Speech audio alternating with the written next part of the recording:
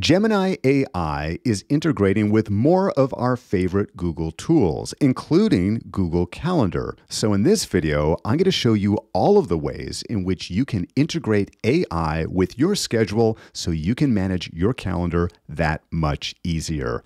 Hello, everyone. Scott Friesen here at Simpletivity, helping you to get more done and enjoy less stress. Now, the first thing that we want to do is open up your side panel. If it's collapsed, come up here and expand. And we're going to come down to settings and select extensions. And you will need to have this Google Workspace extension turned on. Now, don't let the examples fool you, because if we go back to a new chat and we come down here to the prompt area and hit the at symbol, here you will see the full list of all of the Google apps and Google tools which we can engage with. Here at the bottom, I haven't enabled all of them, but at the top, I have enabled most of my productivity tools, including Google Calendar. Now, I can select Google Calendar and start to enter in my prompt, but in my examples today, I'm actually not even going to use it because all of my prompts are going to be related to a schedule or a calendar.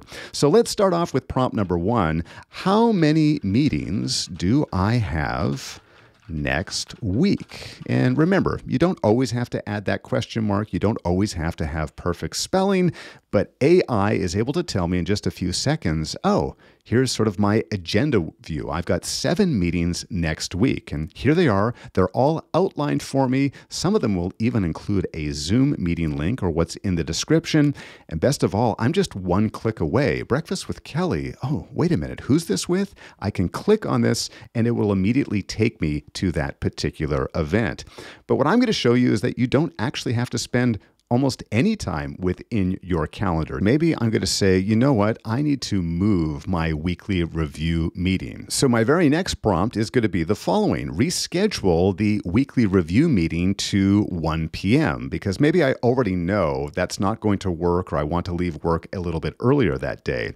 Now, just before it proceeds with changing any rescheduling or creating a new event, it's actually going to confirm with us. And I think this is very, very helpful. It's showing me, okay, is this the meeting you were referring to? And I'm going to simply say, yes, that's the one. And of course, it's going to go ahead and make those changes. Here you can see the date has now changed to 1 p.m. If I jump into my calendar, let's go to the 11th. Yep, here it is. It's at 1 p.m. Correcto. Let's see if we can create a new meeting. So this time, we're going to create a brand new meeting. Create a new meeting for this Thursday at 1.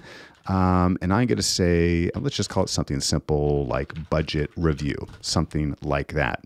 So, again, because I'm spending so much time here within Gemini for other things, for other tasks that I'm working on, why jump around to other tabs? I'm thinking about something else. Uh, yeah, this Thursday, 1 p.m. looks great. I'm just going to hit Y. Remember, you don't even have to hit yes, give it a full answer. Yes, please go ahead and create that meeting. So now that's been added to my calendar as well. But how can AI be even more helpful? Well, I find it's most helpful when we're looking at something that's not in the near term. If you're like me, you're probably looking at the current week quite regularly. Whether you prefer the weekly review or the daily view, you're probably looking at the things in the near term. But what about if you're wanting to check in when was the last time you met with someone? This can be especially helpful when you are dealing with sales or you're dealing with an important client. So, for example, I'm going to say, when was the last time I met with Karen? Okay, this was maybe an important person, but I know we haven't spoken in a while. How long has it been? In just a few seconds, it's going to tell me, oh, the last time you met was almost two years ago, October 17th, 2022. And down below, as we saw with our first prompt, it's actually going to show us the sources as well. Now, the first one here says, email Karen about the meeting. That was a task, and it correctly identified that that wasn't an actual meeting. But this one here, meeting with Karen, was. That's the one it is referencing. Now, if you're wanting to use AI to enhance your business, I recommend using Pipedrive CRM. Using the latest AI, Pipedrive analyzes your data and arranges a plan of action, prioritizing your activities from top to bottom while tracking your progress along the way. It'll also rank your leads and tell you how engaged each customer is with your efforts. From there, you'll get more suggestive actions. For example, replying to an email, which can be done using Pipedrive's AI email writing tool. Pipedrive will show you when you've completed all activities in the queue. But wait, there's more. Just click on the Opportunities tab and you'll get recommended actions on deals that are worth nurturing. To learn more about Pipedrive AI, click the link in the description below. Now, you're probably not surprised that Gemini does a great job of finding time and date information, but what about the other fields attached to our events? So, for example, location. I have a monthly breakfast with my friend Tim, so I'm going to say, where did Tim and I meet?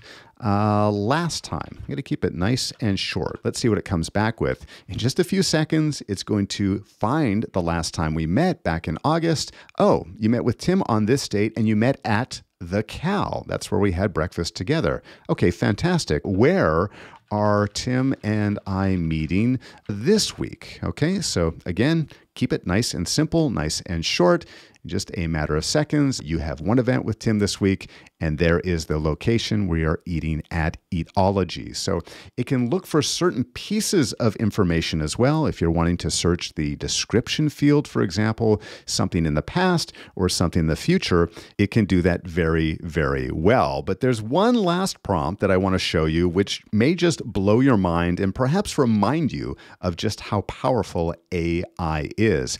So this time, I'm going to come over here and upload an image. And what I'm uploading here is actually a screenshot of all of the concert dates for an upcoming tour. Maybe I'm wanting to plan a special outing with my teenage son. And there's a lot of information in here I don't want to have to sift through myself. So I'm going to say open, which is going to attach it here to my prompt.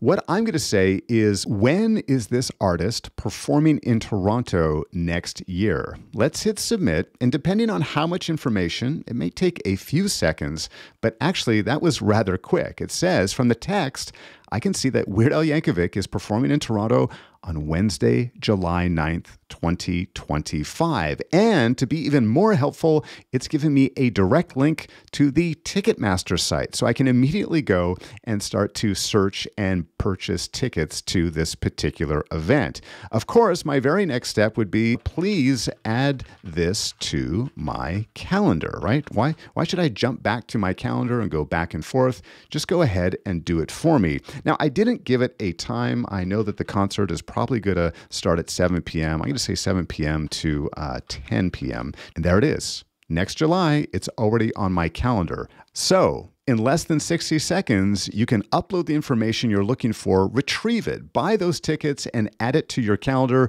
and then move on and get on with whatever it is you want to get done today. Now, if you have further questions about using Gemini AI with Google Calendar or other Google tools, be sure to let me know in the comments down below.